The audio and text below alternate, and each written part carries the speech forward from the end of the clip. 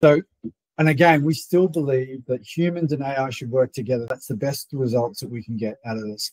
Humans have to have to have a growth mindset. So they have to be curious be curious over fear they have to be resilient in nature they have to learn to test these tools get things wrong and keep going uh, and uh, continue to have an open mind as they as they go through these learning curves we've also found that uh, not all tools are the same so you know there's not one size that fits all i use a multiple uh, multitude of different platforms on a daily basis from chat to perplexity to grok to gemini Nano Banana video creation, image creation. yeah. There is so many tools out there. So, it's not necessarily one one size fits all. So there's lots of programs and platforms that we think people should be uh, playing with, even if their business is in an environment where it's just 365 and it's just Copilot.